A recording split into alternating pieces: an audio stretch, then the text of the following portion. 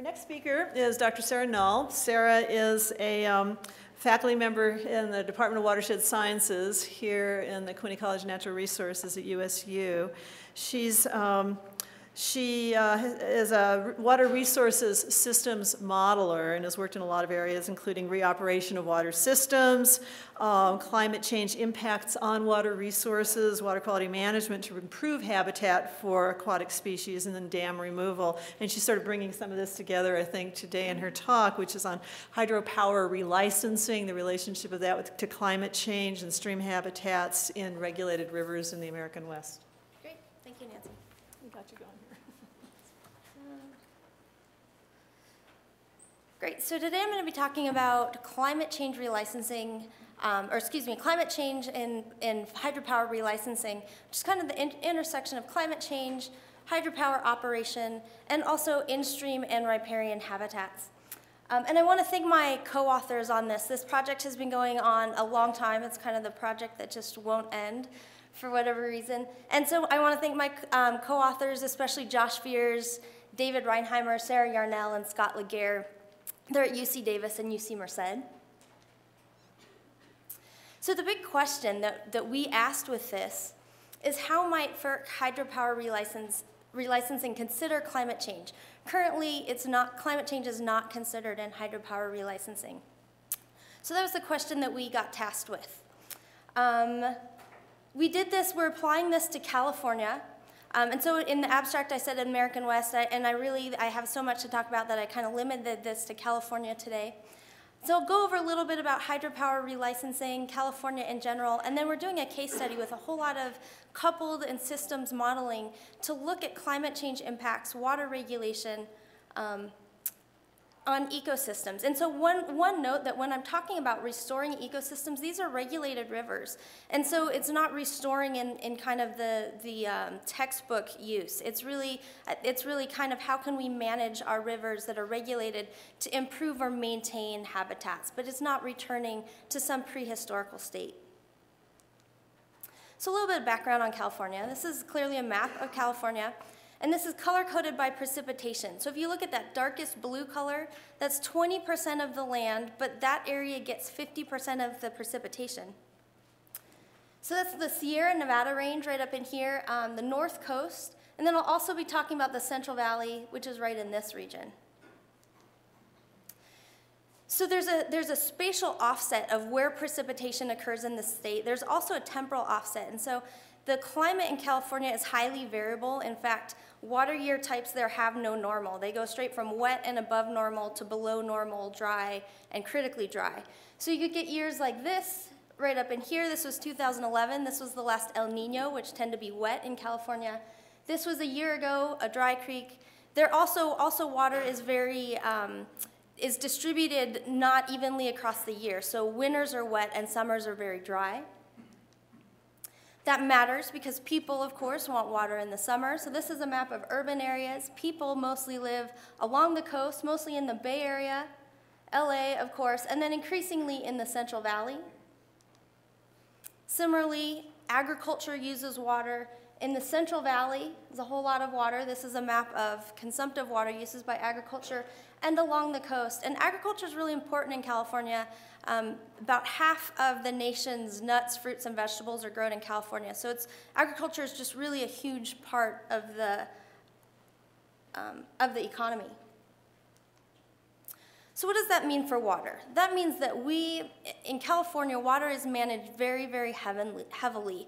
Almost every single river is dammed. There are two dams that are not dammed in, in excuse me, two rivers that are not dammed in California.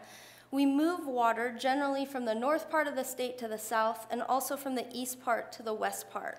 So very heavily managed water systems. This makes for very tough um, living conditions for riparian and in-stream ecosystems. Also, when water is moved from, when it, it, when it drains naturally or it's moved from high elevations to low elevation places, we can of course create hydropower. Hydropower is about 20% of the energy portfolio in California, and the water energy nexus is very tight because of that. So non, non-federal hydropower dams have to be relicensed every 30 to 50 years. That's, that's the, the scope that that happens on. They're relicensed by FERC, the Federal Energy, Energy Regulatory Commission. Um, it's an, and one, one more thing I wanted to, to just mention here is relicensing it presents one of the few formal opportunities to change how rivers are managed and operated. It's because these are regulated systems, this is one of the few formal opportunities to get more water, to get different timing, sometimes different quality of flows. So these re relicensings are very important for ecosystem management. However, not a lot of data goes into them. So on average, so like I said, the, the licenses last for 30 to 50 years. On average, they last for 38 years before the license is reopened for another relicensing. Um, the total monitoring on average about seven years is collected through the whole of data is collected through the whole license period on ecosystems. Normally, right after a licensing, there's about three to five years of heavy data collection, and then about once every five years, ecological data is collected. And this is really important because 92% of, of relicensings change flow conditions. Fish monitoring is only included 67% of the time, and riparian monitoring is included far less than that. In fact, there wasn't, I couldn't even find statistics on it. Another kind of confounding factor is that when data is collected every five years, you can have a wet year or a dry year. So those are often hard to compare. They're, they're not really apples to apples or oranges to oranges. Um, so because of that, these decisions are made with, with not very much data. A little bit about climate change in, California, some things that we do know. We know that climate change is changing California's hydrology. Air temperatures are expected to increase by about 2 to 8 degrees Celsius by the end of the century.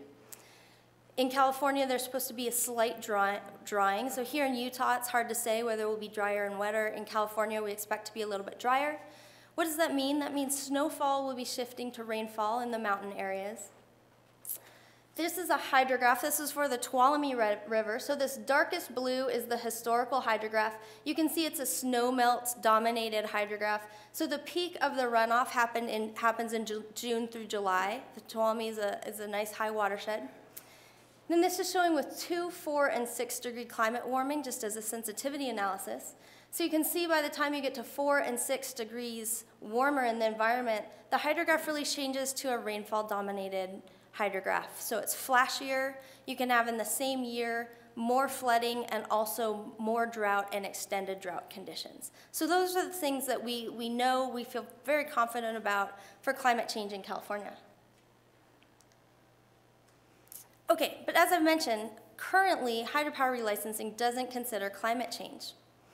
Stakeholders in the Sierra Nevada um, region requested that climate change be considered in the new hydropower relicensings. However, FERC denied that request. So FERC is the federal agency. They denied that request. And they said, yes, we agree that climate change is happening, but there's so much uncertainty in the models that we don't think that we could get to um, very specific outcomes or impacts.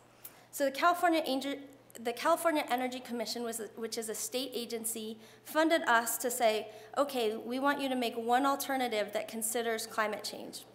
So the way that this is done is generally there's a number of alternatives um, for hydropower relicensing, and they go through all of them, and one is decided on. So basically, we're creating one alternative that includes climate change, that it looks also at hydropower generation, at ecosystems, in-stream and riparian ecosystems, water quality, all those sorts of things.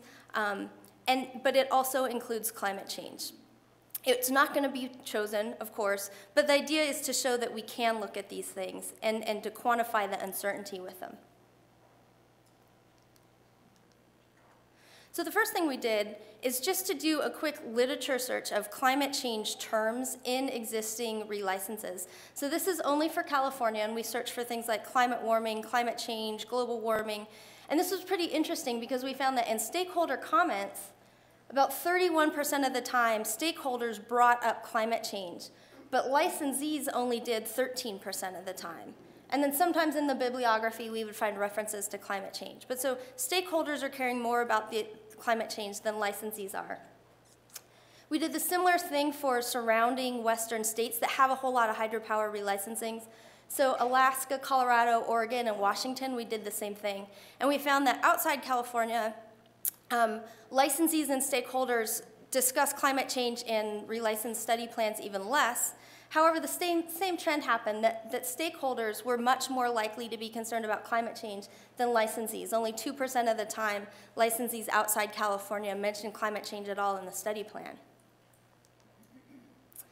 So then we've done a whole lot of both field monitoring and modeling to look at climate change impacts on hydropower, and then we're more interested in ecosystems. So I'm not going to go too, over to this too much, and because this study has been going on a, a long time, some of the GCMs have changed and things like that, but basically we take historical and downscaled climate, we run those through hydrology models, operation models, reservoir models, water quality models, sometimes ecosystem models. So there's a whole lot of coupled ecosystem hydroclimate modeling. The model scope of this project is quite large. It's on the, the mesoscale. So we have 15 watersheds on the west slope of California's Sierra Nevada.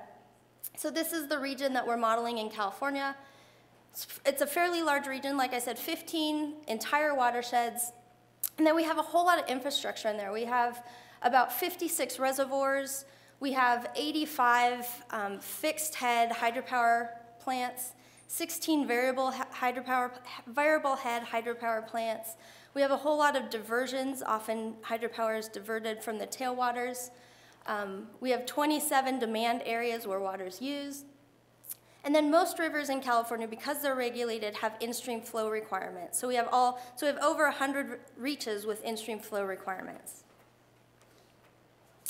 So the first thing we wanted to do, so now I'm getting into some modeled results. So the first thing we wanted to do is take these 15 watersheds and say, do, are they gonna respond the same way to climate change or might they respond differentially?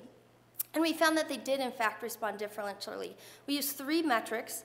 We use, first of all, mean annual flow. So that's looking at basically water quantity with climate change. And this is with two, four, and six degree climate warming, just as a sensitivity analysis. So this is a pretty, pretty kind of basic analysis. Mean annual flow, and we said probably water supply is going to care the most about water quantity.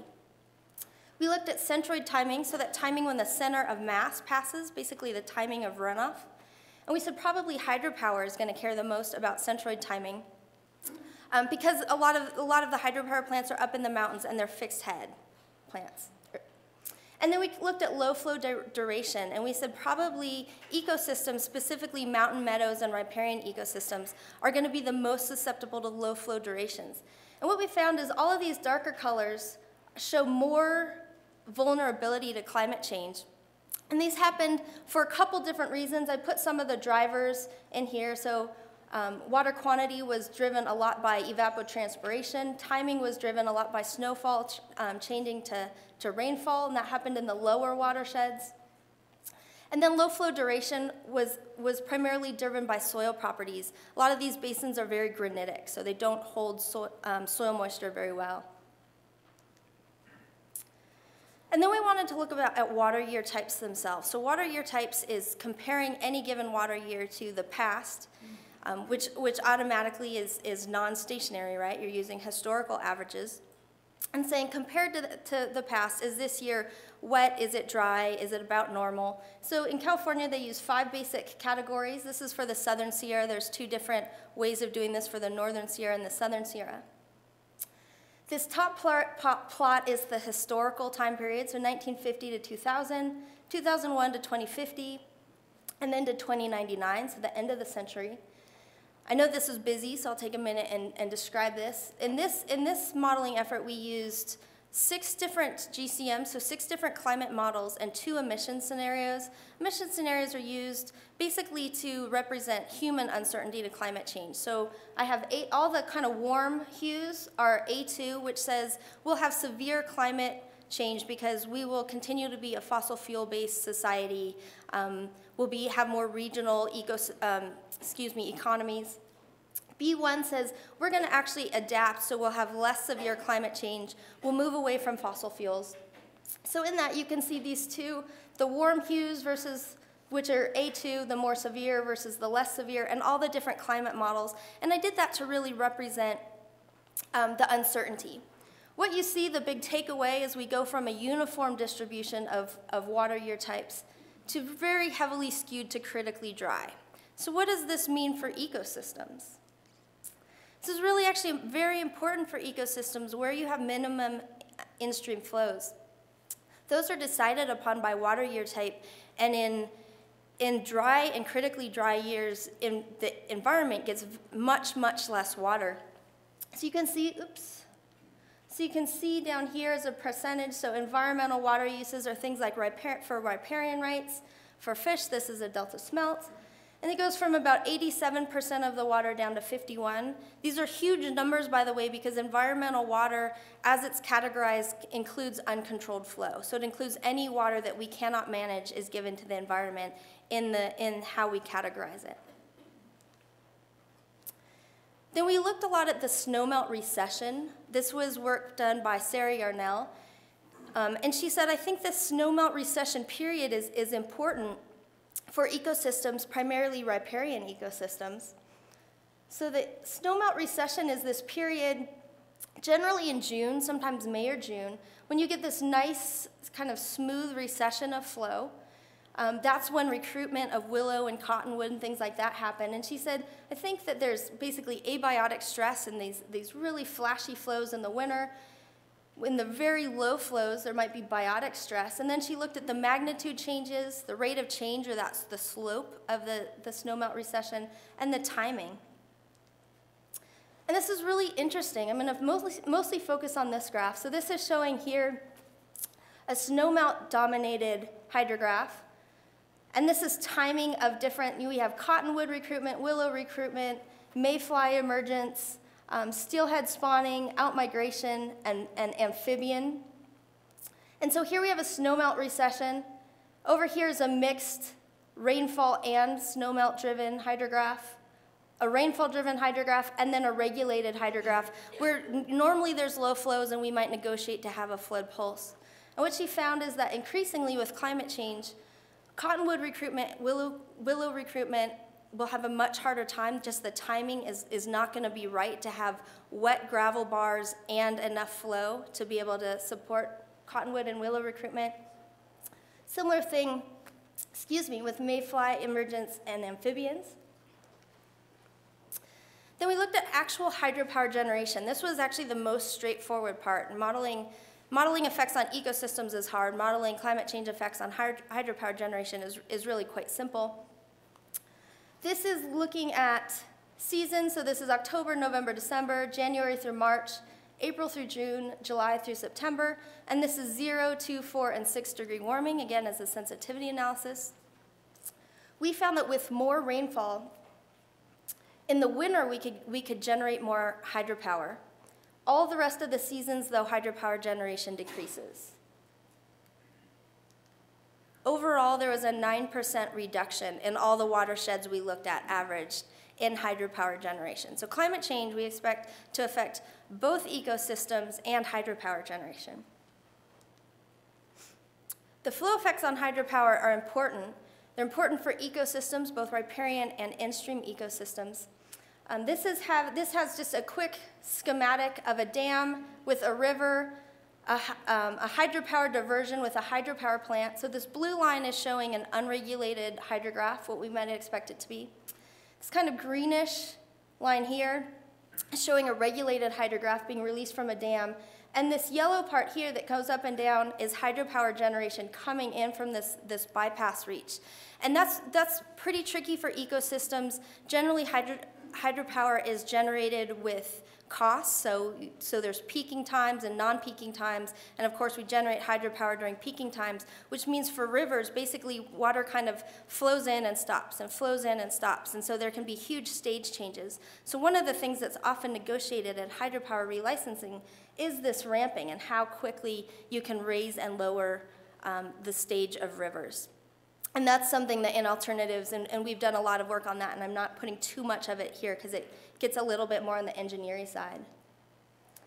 And then we were in, interested in, in stream temperatures also, and this is more for, um, for fisheries and in-stream habitat than for riparian systems. But first, we just looked at without any dams. And again, this is current conditions, 2, 4, and 6 degree warming. This is showing the number of days that water temperature exceeds 21 degrees Celsius. We use 21 degrees Celsius because that's a, a stress threshold for Chinook salmon and steelhead trout, two anadromous fishes in this region. What we found is we go from the Sierra Nevada having generally pretty nice cold habitat, these are cold water rivers, to by the time we have more severe climate change, a lot of, many of the weeks out of the year have water that's too warm to, to support salmonids. And I have Yosemite highlighted here. This is a place where, of course, we manage for ecosystems and for natural resources. And the only great habitat is up in Tuolumne Meadows, which, if any of you guys have been to Tuolumne Meadows, not very suitable habitat for, for, for fishes. So then this, this actually opened up um, a, a really interesting line of research to say, okay, because California has so many dams, can we manage dams to maintain cold water for, for salmon and trout? So of course, large dams can stratify th thermally with warmer temperatures in the summer and colder temperatures or cold water pool in the bottom. So we've been doing a whole lot of work looking at, at how we can better manage temperatures to maintain downstream temperatures, and we found that we can do this, but it's limited because the, the, cold water pool has a finite volume, a finite amount. We can release that water and basically extend the cold season, um, but we can't, you know, just release 200 CFS day after day out of the cold water pool. Um, absolute temperatures are still warming with, with climate change. Reservoirs can help. Stream temperatures are sensitive to the elevation dams are at, the size, the surface area, and then this is, um, we, are this is ongoing res research with a couple specific hydropower relicensings in the Yuba River.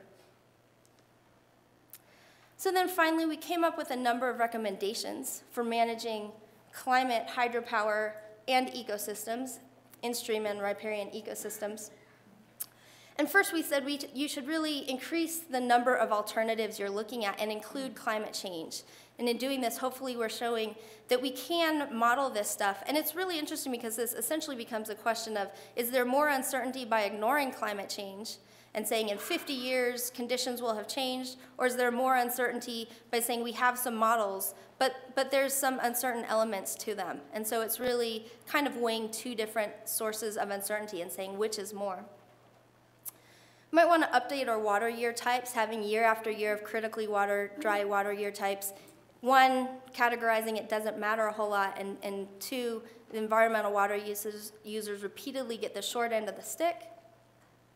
We should most certainly increase our monitoring. We're making these decisions that can last 50 years off of very little data. We should certainly do some more model, monitoring and have better sampling that goes into this. And then fund research on these data gaps. Um, this is, um, it's, it's tricky when, like I said, when we're looking at climate change, water regulation, and ecosystems, and hydropower generation. There's a whole lot of moving parts in here, and we really need a lot more research on this type of work. And then with that, a finish. This is the Yuba River, so this is one of the main rivers in our study system. You can get an idea of it.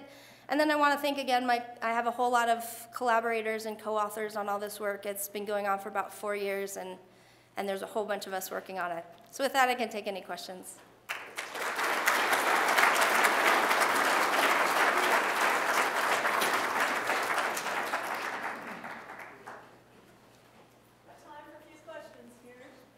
Yep.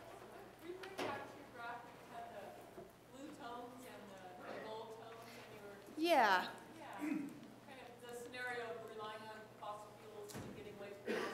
Uh-huh. There's not, yeah, so the question was that she said there's, seems like there's not a whole lot of difference between the mission scenarios, so between the A2 and the B1. And there wasn't quite as much when, when you put this into numbers, you can see it a little bit better. And so this is visually, which I like, and especially talking to um, sometimes water managers, they like visually instead of kind of pages and pages of numbers, which I like pages and pages of numbers. Um, but so, so there was a difference, and the A2 is, is more severe. We've actually gotten away with this in the fifth assessment report. Now we use RCPs. And so we, we've kind of changed it. It's the same idea that we could have more severe or less severe climate change. Um, but but on our, in our newer modeling now we use RCPs, what stands for radiative climate forcings, I think. I don't see anyone shaking their head, so I'll go with that. Pathways. Pathways. We do, and yeah, and, and so some of this, again, because we're dealing with, with water managers, is just trying to quantify uncertainty and be very clear where uncertainty exists and what things we know and what, what parts we don't know. Yep. Are there major uh, dams that are not used for hydropower in California, in other words, that are, that are simply for storage reservoirs? There are, so the question was, is, is there dams that are mostly used for water storage or water supply, and not hydropower? And there are, and I'm gonna go back here to this map. In California parlance, I've only heard this term in California, the lowest dams in mountain regions are called rim dams. And those are these big triangles, and that's where we ended our analysis. The rim dams are really large. They're things like Fol- Folsom, Shasta, the dams that are like 4 million acre feet or you know 1 million, 2 million acre feet. They're mostly used for water supply with hydropower. So for us, because we weren't as interested in water, sup- water supply, that was the end of our modeled extent. And all the higher, so moving up this way then is higher elevation, and those are all hydropower reservoirs. So one more question? Um, Given that you're developing an alternative, how, are you submitting it to them? Are you thinking they'll analyze it? Or is your purpose for the next relicensing some, in some other area to consider it because you've shown that they can? So, so the question is, be, because this is with a relicensing, are we going to submit this alternative? Um, and it's, it's a little bit more academic than that, even though a state agency was interested in that, and they're, they're certainly scrutinizing our alternative with a fine-tooth comb. We don't expect the licensee to give our alternative much credence because, because basically it, it manages water even tighter. So there's less water for hydropower generation and less water for ecosystems. And so because of that, the, the state agencies were really interested in it and want to show that this can be done, but it's not so much thought that it will actually be an alternative that will be chosen for this relicensing. Yeah, good question. Okay. Thank you.